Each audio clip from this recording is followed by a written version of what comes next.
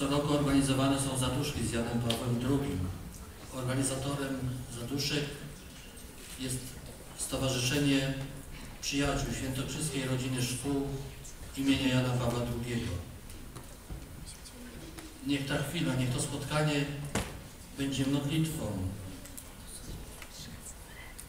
za zmarłych. Wypełniamy testament Jana Pawła II, Ojca Świętego Jana Pawła II, który prosił, aby modlić się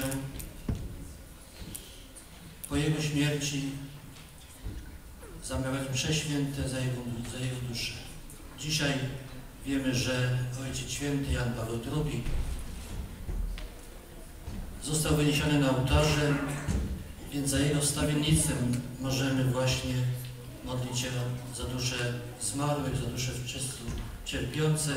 Niech przez te słowa, przez pieśń, przez pieśni tutaj wykonywane przybliża każdego z nas do tej wielkiej tajemnicy zbawienia.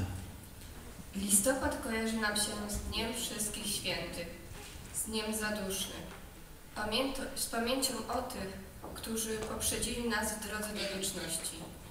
Spotykamy się dzisiaj dlatego, aby pobyć przez chwilę w zadumie, zastanowić się nad przemijaniem oraz przypomnieć tych, których z nami już nie ma. Zaduszki z Janem Pawłem II to także pragnienie duchowego spotkania z naszym papieżem, z jego myślami i naukami. Mamy nadzieję, że każdy tu obecny znajdzie w słowach Jana Pawła II cząstkę siebie, cząstkę swego życia, myśl, która skłoni go do refleksji nad sensem ludzkiego życia. Jest miejsce, dokąd listy nie dochodzą, gdzie tylko myśli i modlitwy błądzą. Tam idę, aby w zadusznym skupieniu ulżyć modlitwą zmarłym w cierpieniu. Tyle jest jeszcze pytań niezadanych, tyle opowieści niedopowiedzianych. W zimnym kamieniu śpią snem nieprzespanym i może tęsknią za słonecznym ranem. Nie umiem odejść, nie zamieniając słowa w ciszę, o której mówią, że grobowa. Nim wiatr ostatnie znicze pozagasza, powiem dziękuję, proszę i przepraszam. Jest miejsce, dokąd listy nie dochodzą. Śpieszmy się kochać ludzi. Tak szybko odchodzą. Dla słowiańskiego oto papieża otwarty tron. On przed mieczami tak nie uciecze, jako ten Włoch. On śmiało jak Bóg pójdzie na miecze. Świat mu to proch. A trzebaż mocy, byśmy ten pański dźwignęli świat. Więc oto idzie papież słowiański, ludowy brat. Niebo się nad nim piękno otworzy, z obojgu stron, bo on na tronie stanął i tworzy, i świat, i tron. Ten zdumiewający wiersz Juliusza Słowackiego, z którego pochodzą cytowane strofy, długo nie budził większego zainteresowania. Napisany w okresie wiosny ludów w XIX wieku, zdawał się jedynie świadczyć o marzeniach smutnego, schorowanego poety. Oto jednak, niespełna półtora wieku później, tajemnicza wizja poetycka nabrała realistycznego wyrazu. 16 października 1978 roku na tron Piotrowy został wybrany papież Polak, nasz brat, czuły, wierny i różnorako doświadczony syn naszej ziemi, Karol Wojtyła. Jest takie u gdzie się spotyka z zachodem wschód. Nasz pępek świata, nasz biedny raj. Jest takie miejsce,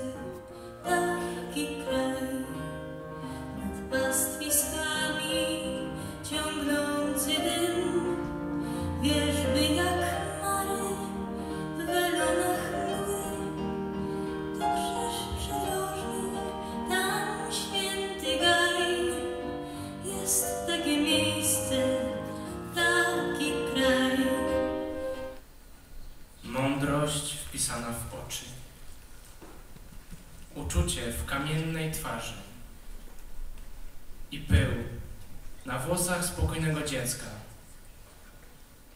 młodzieńca, mężczyzny,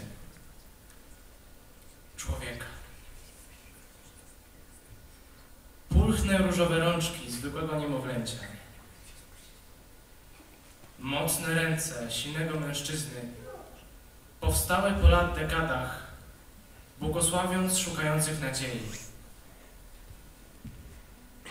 Pokazały zielone wzgórza stojącym w ciemnej dolinie.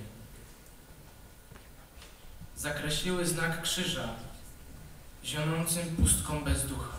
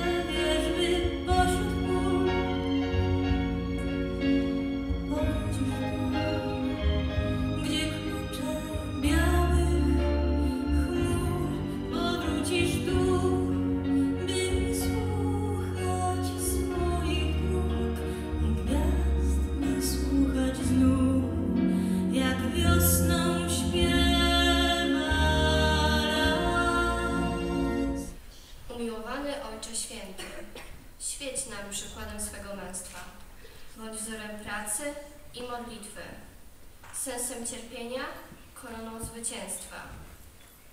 Wpatrzony w oblicze Matki Boga, radości i piękna wzór wspaniały.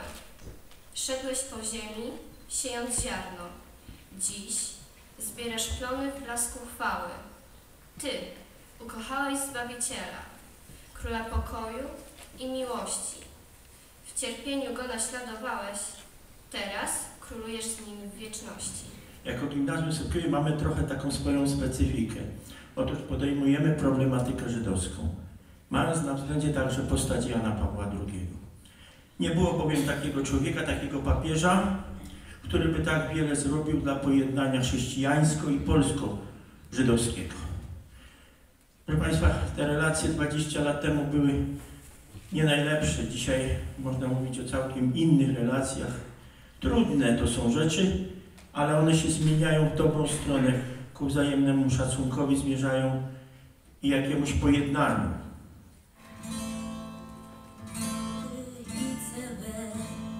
Już nie bój się nocy i ludziom w oczy patrz w miasteczku łez. Minęło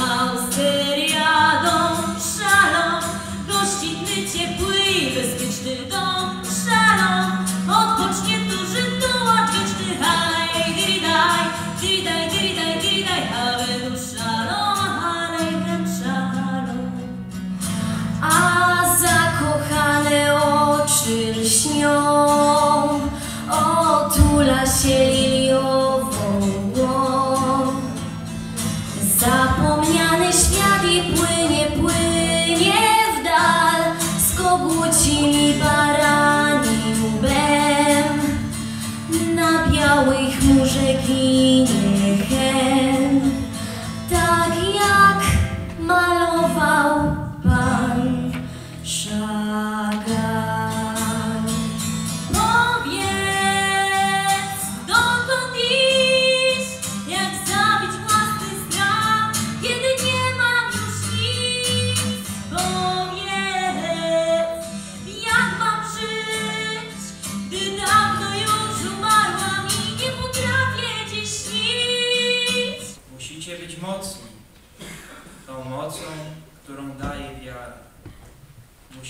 mocni mocą wiary. Musicie być wierni. Dziś tej mocy bardziej wam potrzeba niż w jakiejkolwiek epoce dziejów. Musicie być mocni mocą nadziei, która przynosi pełną radość życia i nie dozwala zazmucać Ducha Świętego. Każdy Twój wyrok przyjmę twardy. Przed mocą Twoją się ukorzę. Ale chroń mnie, Panie, od pogardy, od nienawiści. Strzeż mnie, Boże. Wszak Tyś jest niezmierzone dobro, którego nie wyrażam słowa. Więc mnie od nienawiści obroń i od pogardy nie zachowaj. Co postanowisz, niech się ziści. Niechaj Twoja wola się stanie. Ale zbaw mnie od nienawiści. Ocal mnie od pogardy,